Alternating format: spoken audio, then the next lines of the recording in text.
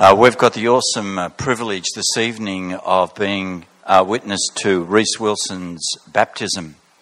And uh, Rees has come to this point. I was preaching a couple of weeks ago, and I mentioned that if people weren't baptized and they followed Jesus, uh, that's a part of the Christian journey that we ought to be going on. And I just threw it out there and I said, perhaps there's some people that want to be, uh, should be baptized and know in their hearts that they should be baptized. And then Dave and Rees got together, and there was Facebook messages going everywhere, and Dave was saying, Can we get this guy baptized soon? And I'm always up for baptism. I think it's a great thing. And so Rees has come to this point where he's just publicly declaring his faith in Jesus Christ. And I just want to honour his family who's here today. He comes from generations of believers. Uh, David and Terry and the brothers are here, and David's parents, Mr. and Mrs. Wilson Sr., are here. They have abiding faith in their life. And I believe that it is God's will for children to be born into Christian homes, to be raised up in the knowledge and nurture of Jesus, and to get to that point in their life where they own Christ as Lord and Savior. And that's exactly what's happened in this young man's life, that he's grown up in this beautiful heritage and environment, and now he stands before you as a dedicated and absolute follower of Jesus Christ in his life. So, uh, that's wonderful, and we're just so blessed to be a part of your baptism.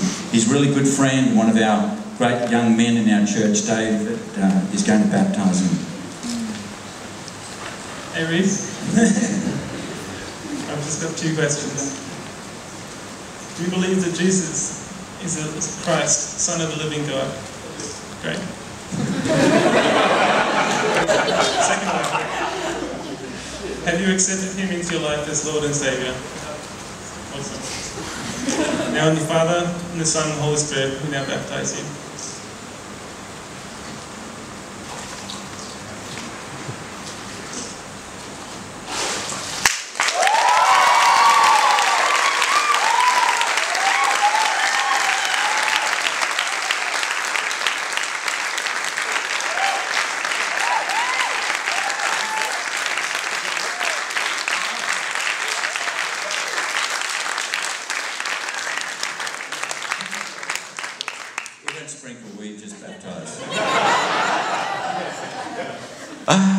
Uh, there's rejoicing in heaven over a sinner who repents. Do you know that? There's an absolute outcry and a joy and a celebration and a hallelujah in the heavens. We're just going to pray for this man that as he rises out of these water, that he would manfully live for Jesus his whole life. So, Father God, we just lift up Rees Wilson to you right now.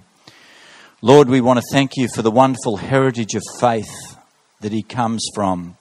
But Lord, he doesn't. Uh, rely on the faith of others.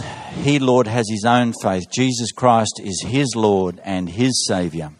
And so, Heavenly Father, He is before us and before you tonight in the waters of holy baptism. And He's declaring Christ to be His Lord and Savior. We pray to God, that you would anoint Him afresh with your Holy Spirit.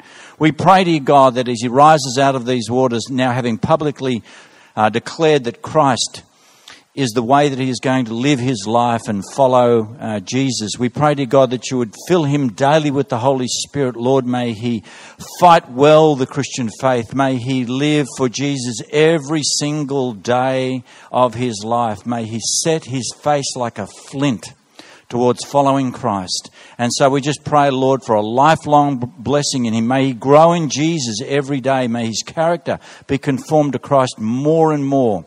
And Lord, so bless him every single day and bless those, Lord, that have uh, contributed into his life, both family and friends, uh, that has made this uh, event with the uh, agency of your Holy Spirit possible. So bless this young man in the name of the Father, the Son, and the Holy Spirit. Rise up, Rees, to manfully follow Jesus all your days. Amen. And the people of God said, Hallelujah and Amen.